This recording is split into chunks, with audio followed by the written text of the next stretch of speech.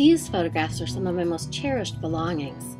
Looking through them, I feel connected to my family's past and gain an understanding of who and where I come from. Here's my grandmother holding my mom when she was a baby. And then there are my photographs of my own past. I see some of my favorite memories in these images and cherished moments that I've only heard about. Like here, where I'm with my mom back before my earliest memory.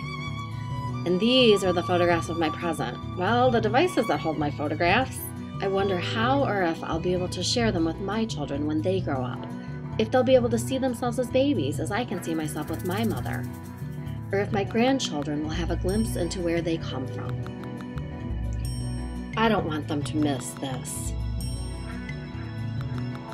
How will we remember our present when it becomes our past?